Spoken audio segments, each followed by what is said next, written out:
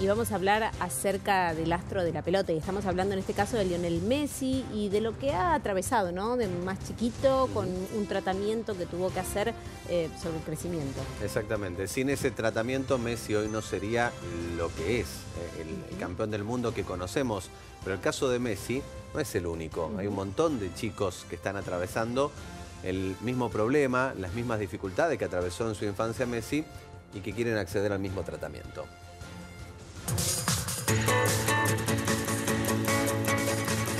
Bueno, Lauti se le detuvo el crecimiento entre los 4 y los 5 años.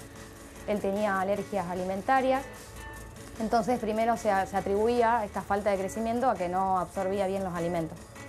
Después de un tiempo, cuando él empezó a superar eh, esas alergias y que empezó a comer más variado, el crecimiento seguía detenido, entonces nos derivan con endocrinología. Eh, el diagnóstico es largo. Eh, él tenía una velocidad de crecimiento de entre un centímetro y dos anuales, o sea, nada.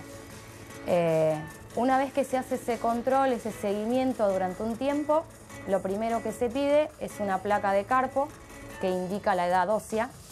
él se hizo la placa casi a los siete años y la edad una edad ósea de tres años. El tratamiento eh, es difícil, es largo, eh, porque es hasta que se cierra el, cartílago de crecimiento. Eh, nosotros donde vayamos, sea que vayamos de vacaciones, salgamos a cenar de afuera o algo de eso, nosotros tenemos un, seguimiento del laboratorio que van siguiendo el aparato a ver qué dosis le vamos poniendo y cuándo lo vamos inyectando. donde vayamos, sea de vacaciones, sea cenar, sea algo, si, si vamos a cenar algo así o salimos al cine, es inyectarlo antes para no tener que andar con el aparato, porque el aparato es un aparato con una medicación refrigerada, no puede perder la cadena de frío, así que sea donde vaya él, tiene que ir con el aparato.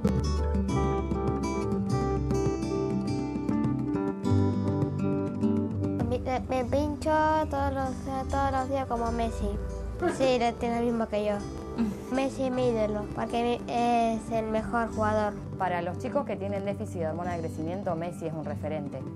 Eh, porque vos le decís, si Messi logró llegar hasta, hasta donde está, ¿por qué no lo podemos hacer nosotros?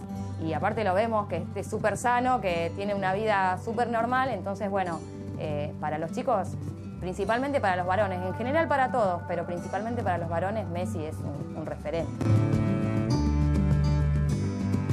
él es la, referencia que siempre, mirá, lo, mismo que tiene Messi, lo tiene vos, y bueno, él lo tomó y lo, adecuó por ese lado, o sea, que si él ve que Messi está donde está y llegó donde está y fue campeón del mundo, eh, es un referente clave para los chicos con este tipo de déficit. Tener una medicación que se aplique solo una vez por semana y que vos encima tenés un margen de tres días para poder aplicarla si no pudiste el mismo día que te toca.